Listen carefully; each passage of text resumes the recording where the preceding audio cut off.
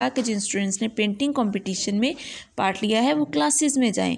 Ali painted a beautiful picture of a child in her mother's arm तो जो अली था, उसने क्या किया था? उसने एक ब्यूटीफुल पिक्चर पेंट की थी, जिसमें उसने अपनी मम्मा के हैंड में अली ने क्या किया था? एक बहुत ही प्यारी पिक्चर ड्रॉ की थी, जिसमें उस मदर की हैंड में एक छोटा सा बेबी था।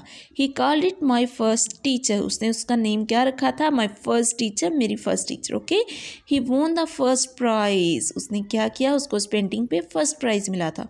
On the way back home in the purse he proudly held out his prize to Ehsan and Anam तो जब वो वापस जा रहे थे तो उसने प्राउडली फ़ख्र के साथ अपने दोस्तों को अपना प्राइज़ दिखाया था। सी आई वॉन दिस देखो, मैंने ये जीत लिया। Mama will be so happy तो मामा बहुत ज़्यादा हैप्पी हो जाएँगी। ही सेड उसने कहा November twentieth each year is celebrated as children day twenty नवंबर को हर साल चिल्ड्रंस डे सेलिब्रेट किया जाता है। जी बेटा तो आज हमारा ये जो रीडिंग थी वो कंप्लीट हुई है इस चैप्टर की। अब हम आते हैं इसके डिक्टेशन वर्ड्स की तरफ़। तो यहाँ पे सबसे पहला लफ्ज़ है हमारा असेंबली। इसको अंडरलाइन करेंगे आप। Assembly. Second word is auditorium. इसको अंडरलाइन करेंगे।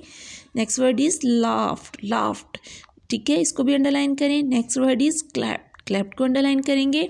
And the our last word is proudly ठीक है?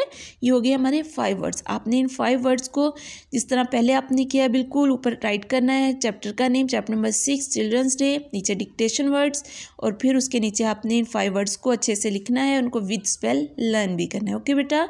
ये आपके आज के डिक्टेशन वर्ड्स हैं. ठीक है? बेटा, इनकी प्रैक्टिस किया करें शेप्स बहुत अच्छी रखा करें अपने वर्ड्स की, क्योंकि बेटा, आप घर में हो, आपके पास बहुत ज़्यादा देखिए टाइम है, आप ये टाइम को जो है, इसको बिल्कुल वेस्ट नहीं करो.